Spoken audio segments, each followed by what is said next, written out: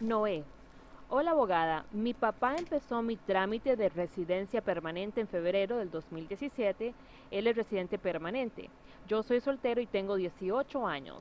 ¿Sabe como cuánto tiempo tardará en llegar alguna respuesta de mi caso? Por lo regular, una vez se ingresa la primer solicitud que su padre firmó, es un formulario amarillo llamado la I-130, al ingresarse a inmigración más o menos seis meses para que manden la aprobación, pero como a mitad de ese tiempo, a los tres meses, le mandan un recibo de inmigración por la cuota que pagó. Y lo bueno de ese recibo, guárdenlo muy bien, es que trae un número bastante largo, empezado con tres letras del alfabeto y luego seguido de dígitos y ese número nos ayuda a hacerle eh, una búsqueda al caso si se llegara a tardar mucho, se pierde.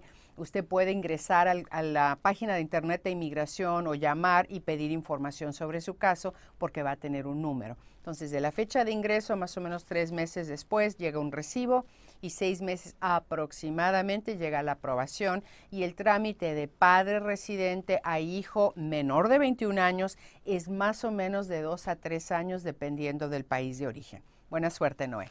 Humanos, de 2008 a la fecha se han registrado al menos 30 mil casos. Los migrantes son víctimas vulnerables para los grupos criminales.